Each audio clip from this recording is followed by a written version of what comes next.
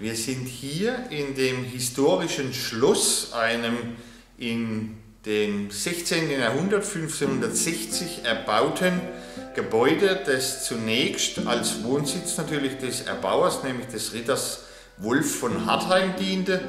Der Ritter Wolf war der Ehemann einer Nichte vom Götz von Bellichingen, der ich glaube in ganz Deutschland bekannt sein müsste. Die Burg Schweinberg war eigentlich komplett als separates Objekt zu sehen. Auch sie war eine Feste, das heißt es war eine Burg. Dort erhalten ist allerdings nur noch ein Relikt vom ehemaligen Bergfried.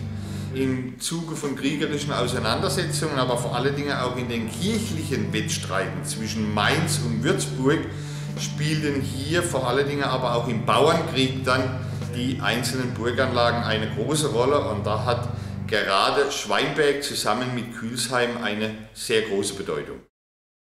Bei Donnberg war ein Eremit, der also dort eine Kapelle, eine kleine Kirche äh, errichtet hat und nebendran in einer kleinen Klause eben gewohnt hat und sein Einsiedlerdasein gefristet hat.